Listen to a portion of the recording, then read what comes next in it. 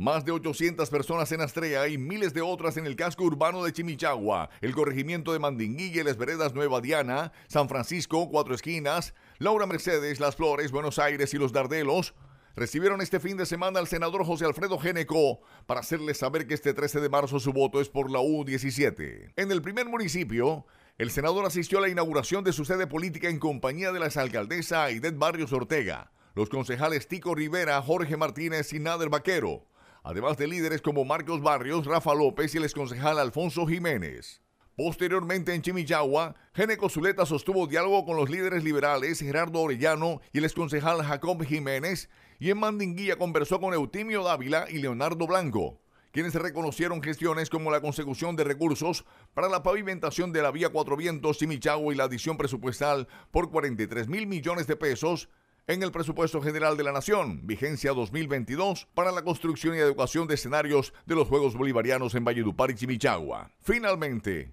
con el indudable respaldo de Álvaro Lima Cubillos y Fernando Soto, el candidato U17 pudo contarles a líderes de varias veredas del corredor cítrico de Chimichagua sobre su gestión para incluir en el Pacto Regional Cesar Guajira varios tramos viales que van a favorecer la producción agrícola, en especial la de la naranja en esta zona del departamento. Apoyo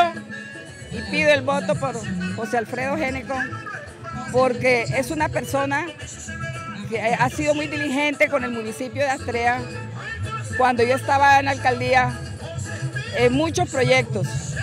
me los ayudó a gestionar y fueron una realidad. El municipio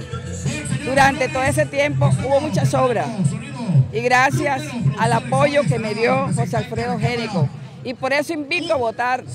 por José Alfredo Génico, U17. En experiencia eh, apoyé eh, candidaturas externas de otros departamentos. Yo creo que a buena hora se tomó la firme decisión de, reivindicarse con, lo nuestro, con los amigos del Cesar, con los candidatos eh, que realmente van a ayudarnos a buscar los recursos en nuestros municipios. Y quién más que José Alfredo, que Eliezer, que son las personas idóneas y las personas encargadas de, hacernos esa, esa inversión en nuestro municipio. Hombre, porque la administración departamental mm, presidida por el doctor eh, Monsalvo,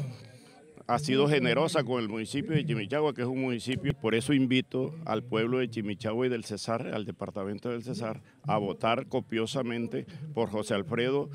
Génico al Senado